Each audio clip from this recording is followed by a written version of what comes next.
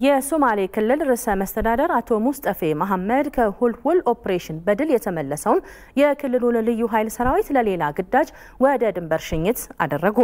በሶማሌ ክልል ርዕሰ መስተዳደር አቶ ሙስጠፌ መሐመድ የሚመራው የክልሉ ከፍተኛ አመራር አካላት በአፍዴራ ዞን ቆህሌ ወረዳ በሁልሁል ንሁስ ቀበሌ ላይ ሰርጎ በገባው አሸባሪው አልሻባብ ቡድን ላይ ከተደረገው ኦፕሬሽን በድል የተመለሰውን የክልሉን ልዩ ኃይል ሰራዊት ለሌላ ግዳጅ ወደ ሀገሪቱ ድንበር ሽኝት አድርገዋል።